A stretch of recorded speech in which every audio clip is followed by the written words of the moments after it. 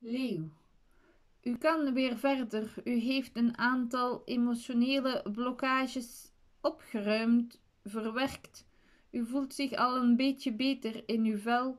Het is nu de moment om daaraan verder te werken, aan vol te houden, om u beter te voelen, u positiever te richten naar de dingen die u wel heeft in het leven, die u wel vreugde brengen en plezier, en de rest opzij te schuiven, achter te laten, geen aandacht aan te besteden.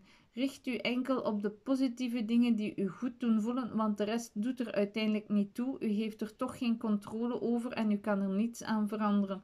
Hoe meer u zich op het positieve richt, hoe beter u zal voelen en u zal dit ook uitstralen naar uw omgeving en ook een positieve invloed hebben op die manier. Dus kies ervoor om u goed te voelen en niets meer.